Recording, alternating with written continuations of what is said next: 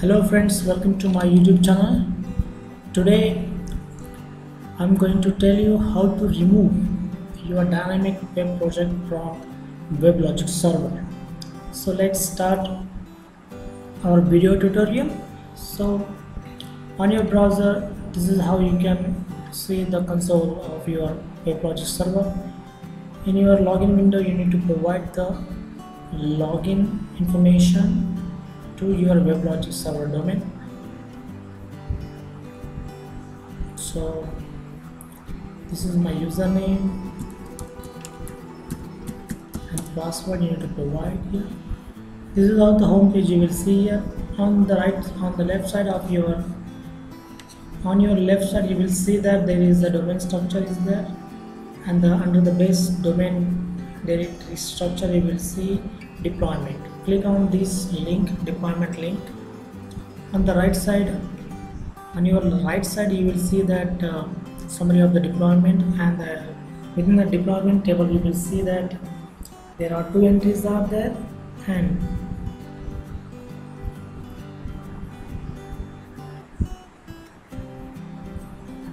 you can select second entry from your deployment table once you select the second entry you will see that are buttons that are enabled now. If you are not selecting this project you will see that the update delete start stop button are disabled. So once you select the project then only the button will be enabled and you can delete or undeploy your web application from WebLogic server. Or you can deactivate your web application. So I will show you how to deactivate of your web application. You need to select the state of your application. You will see that consolidated state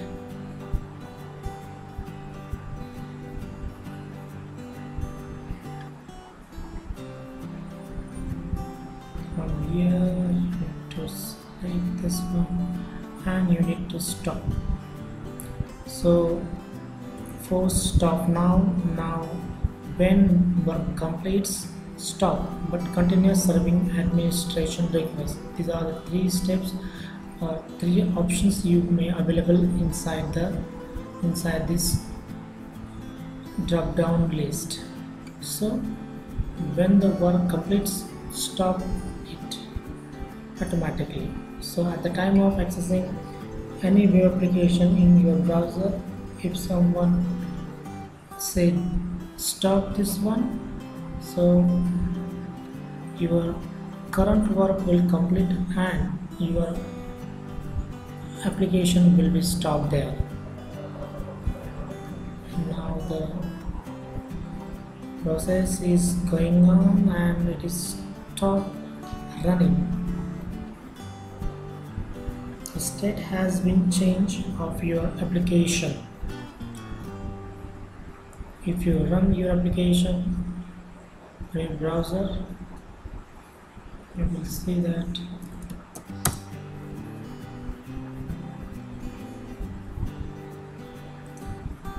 selected deployment have been requested to stop after one complete. So I need to forcefully stop now so this is the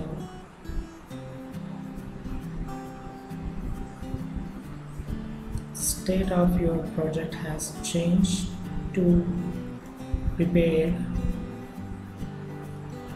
Now if you access you will get error 404 now the resources that you are trying to access is not active on your WebLogic server. So this is how you can stop or you can undeploy your project from web application server.